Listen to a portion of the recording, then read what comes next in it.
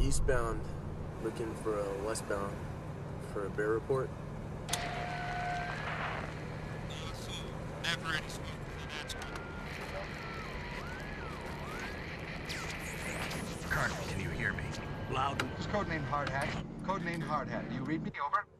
Give me my detonator.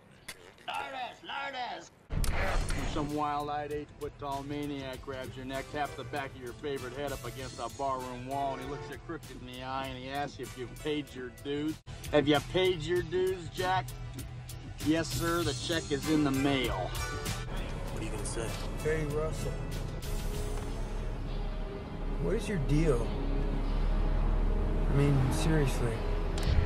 Like I told my last wife, I says, honey, I never drive faster than I can see. Besides that, it's in the reflexes.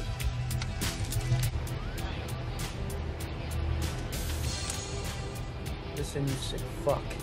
Pathetic, lonely, walkie-talkie, freak show motherfucker.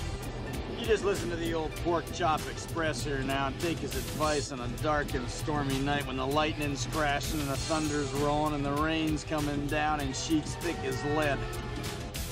Just remember what old Jack Burton does when the earth quakes and the poison arrows fall from the sky and the pillars of heaven shake. Yeah, Jack Burton just looks that big old storm right square in the eye and he says, give me your best shot, pal. I can take it.